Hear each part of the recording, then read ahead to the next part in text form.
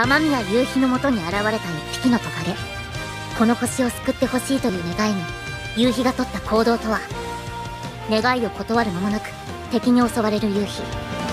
絶体絶命の夕日を救ったのはお隣に住む少女サミダレだった。しかしデタラメな強さを誇るサミダレにはある秘密があった。テレビアニメ「星のサミダレ」2022年7月放送開始。